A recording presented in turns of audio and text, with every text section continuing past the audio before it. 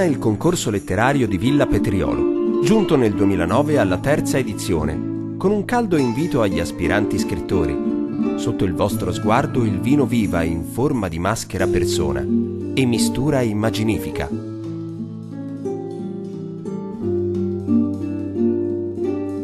L'esortazione a entrare nel cerchio magico del gioco, nel quale cercare il ricongiungimento tra natura e umanità, ricavare quella visione del mondo unitaria, animata e animatrice, che consenta la maturazione e l'espansione della personalità, come se fosse vino. Sognare di essere vino, un vino che ha avuto il coraggio di incarnare il proprio destino fino in fondo, guadagnandosi un carattere irripetibile ed uno stile riconoscibile nell'essenzialità. Siate vino e donatevi a larghi sorsi, eccitate la fantasia prima di tentare le labbra.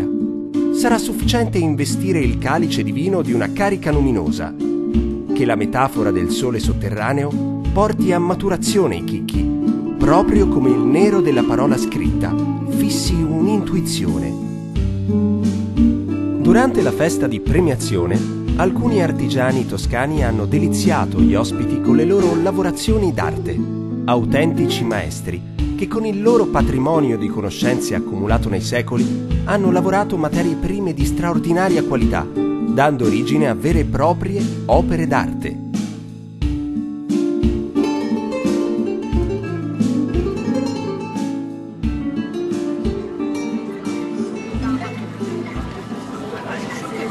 Terzi, il sorgere del sole della rugiada all'alba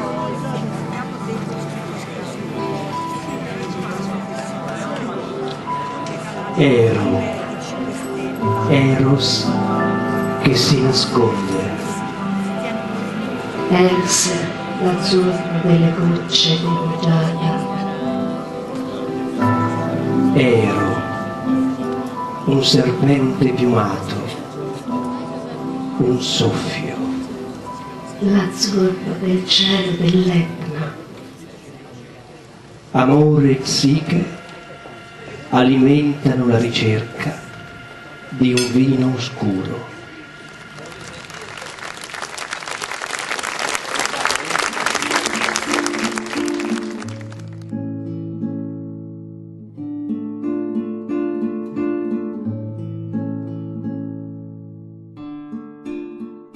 E la vita lo lasciava ma sperava che sti maledetti, che durassero meno di me, magari, una volta morti tardi, eppure io, mi ringrazieranno ste botti fidose, botticelle, sudore, bottacce, botti delle bottane. Avrebbero ringraziato.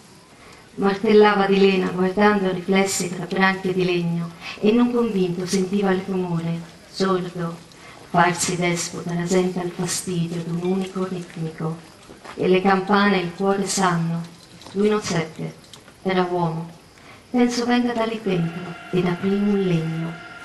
Vide in feccia la sua immagine e gli occhi, vecchio rubare al rubino il suo colore matto le rughe, tuffarsi distese del di labbro, galleggiare, le sue corna, tra i capelli dritti e molli, alti e scesi. Dentro di quella pozza il corpo gli si fece bolla e bloff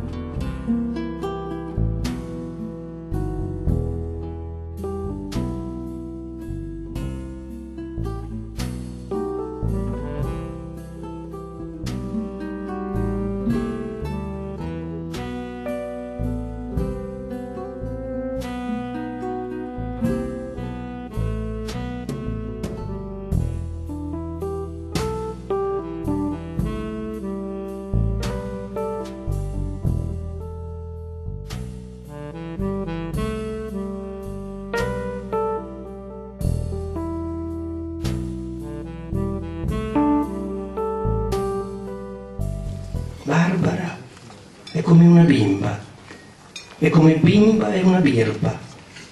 Ha 22 anni, cammina scalza sulla terra di collina come danza che s'alza, s'alza sull'erba borbottante a prima sera d'autunno come mille molli primavere. Gioca a palla, con la palla azzurra come l'atmosfera, ridacchia, si fa cadere dopo una corsetta sulla gonnella di rubino inzaccherata di verde vita. Barbara, con le narici dilatate, illuminerebbe un marmo d'ombra e non lo sa, s'abbandona. È, col cristallo poggiato sulle labbra, non ha ancora assaporato quello sconosciuto compagno, quel mare, quel prato liquido di vissuto.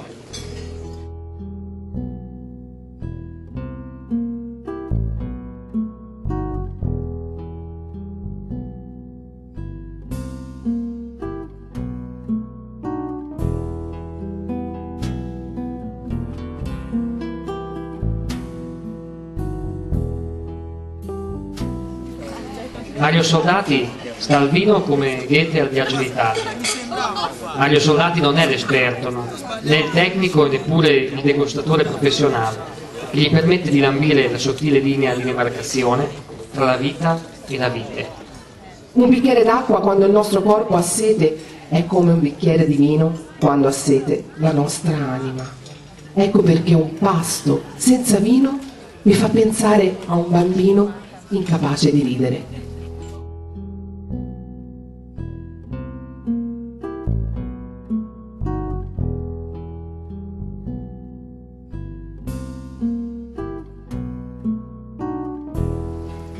Sbattevo per un giro a tutti i marmi di Gimigliano, Creme Real di Portogallo e nella Trinità il rubino porfido egizio.